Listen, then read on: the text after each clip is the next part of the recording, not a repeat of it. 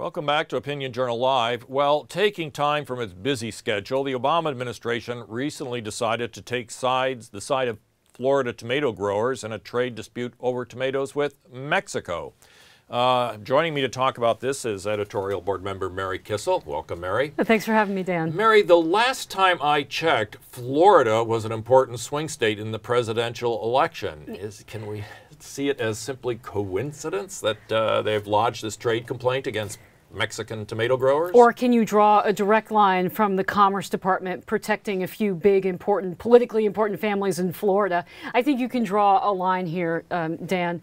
Uh, this is trade in tomatoes, but uh, more broadly speaking, trade in perishable goods, something like tomatoes or bananas or something like that, um, is is tough for importers because if the good uh, goes bad, well, you, you have to sell it to make something, so you put it on a discount. Well, there were all sorts of dumping wars in the 80s, 70s and 80s between the U.S. and Mexico with tomatoes, so we put a price floor on it.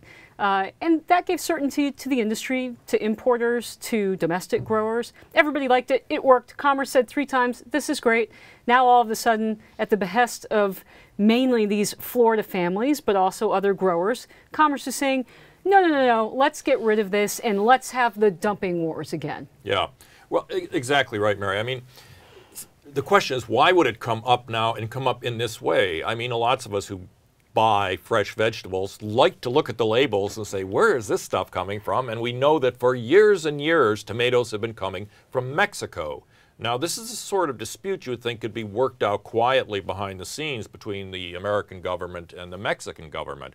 But the and they wanted to, yeah. and they tried to. So these growers came to Commerce in June and petitioned Commerce and said, look, we want to get rid of this agreement because once we do that, we can file an anti-dumping uh, suit, which again would bring volatility to the marketplace, which would bring higher prices for U.S. consumers, for restaurants, for your tomato sauce, uh, for, for Walmart and grocery stores. Yeah. Um, and the Mexicans said, no, let's negotiate. We'll renegotiate the price floor on this. We'll up enforcement on our side of the border. And by the way, we'll get more of our growers to sign on to this pact. They had 85%. They said, we'll get more than 85%. And Commerce basically said, nah, we don't really want now, to Mary, talk this falls uh, hot on the heels of a similar WTO action that the uh, Obama administration took against China for uh, on subsidizing auto parts and cars. Uh, that we assume had to do with the auto workers working around the Great Lakes states.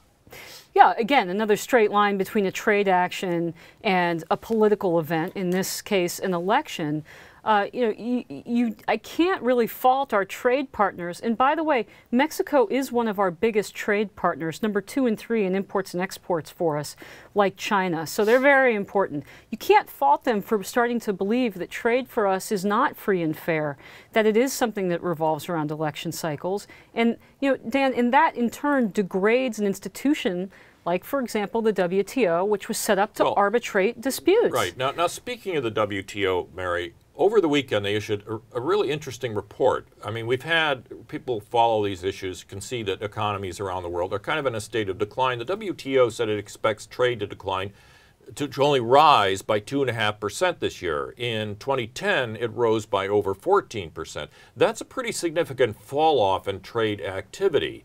And if you get into a situation like this where China, Mexico are at loggerheads with us and their own industries are being hurt by the generalized decline in economic activity, they start to get tend to get protectionist, and there could be some crackbacks over uh, these policies, which is not going to help uh, global economic activity, I don't think. Well, I don't think I could put it any better myself, Dan. Um, it, that's exactly right. You've summarized it perfectly.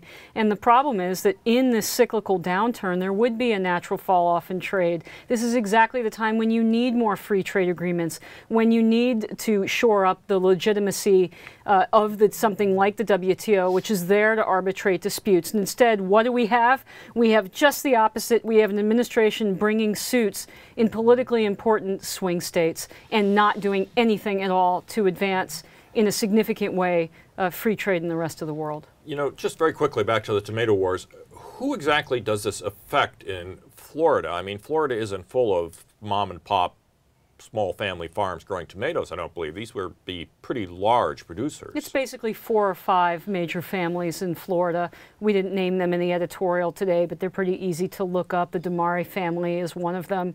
Um, but ultimately, the people who will pay for this policy are U.S. consumers. The next time they go into Walmart to buy a tomato or they go to Subway to get a hoagie, they can thank the Obama administration's Commerce Department for upping that price for them. All right, thanks so much, Mary.